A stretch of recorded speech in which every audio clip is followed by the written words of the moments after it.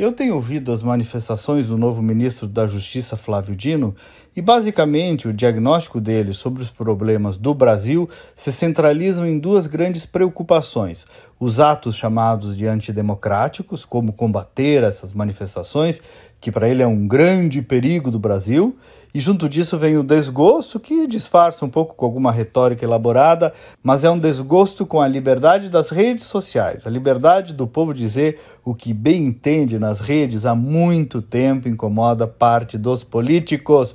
Essa que é a verdade. E por fim, no discurso dele uma centralidade nessa questão do desarmamento da população. Já saiu até emitindo decreto para dificultar clube de tiro e mesmo o acesso da população ao porte de armas. É só o começo, porque o novo governo vai começar a agir muito nessas proibições, já disse isso inclusive. E claro, tudo vem com aquele discurso: queremos uma sociedade de livros e não uma sociedade de armas.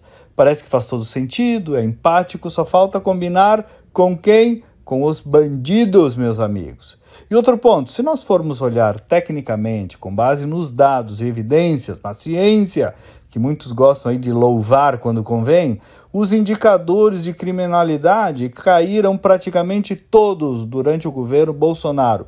Podem criticar muitas coisas desse governo, mas aí está uma área em que acertou indiscutivelmente. O bandido se deu mais mal, o, a criminalidade diminuiu, Estou apenas constatando, inclusive contra mulheres, gays, negros, contra todo mundo. Teve apreensão recorde de drogas, no campo diminuíram as invasões, menor número de assassinatos dos últimos anos, o maior uh, número de queda de homicídios da história, caiu também a média de crimes violentos, letais, intencionais, por aí adiante.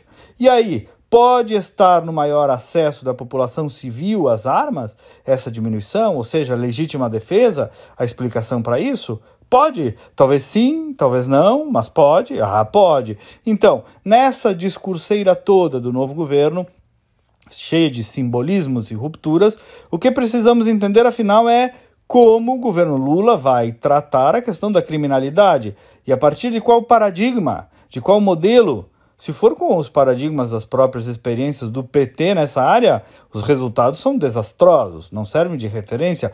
Pelo contrário, os da América Latina, das ideologias amigas, idem, não deu certo. E aí, hein? Qual é o plano do PT para combater bandido e corrupto? Não vejo falar nisso. Me procura nas redes sociais, Instagram, Facebook, Twitter, Spotify, Kleber Benvenu, com GNU no final. Me segue lá. Até amanhã e vamos com fé.